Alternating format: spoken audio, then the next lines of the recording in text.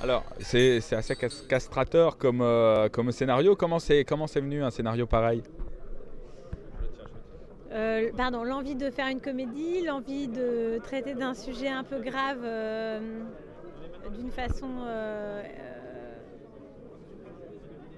étonnante, mais surtout d'une façon qui permette de rendre acceptable le sujet, parce que sinon c'est un sujet un peu difficile pour le spectateur et que ça me heurte quand le spectateur souffre en regardant un film.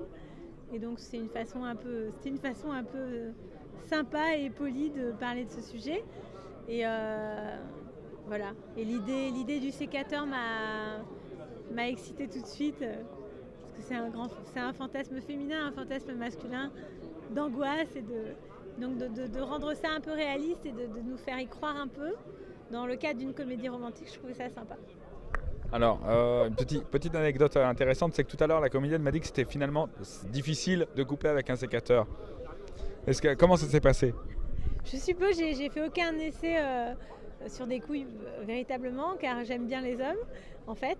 Mais, oui, tout, le truc, c'était rigolo, c'était de, se demander. D'ailleurs, il y avait une scène qui a été coupée au montage qui était un truc d'essai, où elle essayait de- d'essayer de différents. Voilà, des haches, des couteaux, des, euh, des ciseaux, des, des sécateurs, ce qui couperait le mieux.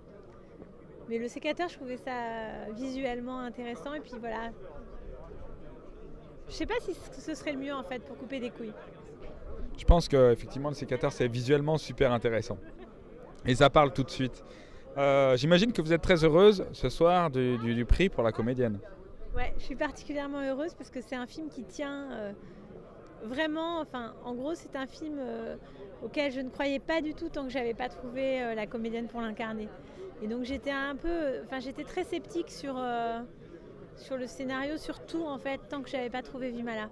Et quand j'ai rencontré Vimala et qu'elle a incarné ça et qu'elle l'a rendu réel et sérieux et drôle et, et charmant et émouvant et que, que je sentais qu'elle allait tomber dans aucun piège, ça m'a énormément rassurée et je pense que le film tient beaucoup sur elle et, sur Bruno aussi, euh, Bruno euh, voilà, Podalides qui, est l'autre comédien principal et qui, qui est très important aussi. Eh ben, merci beaucoup.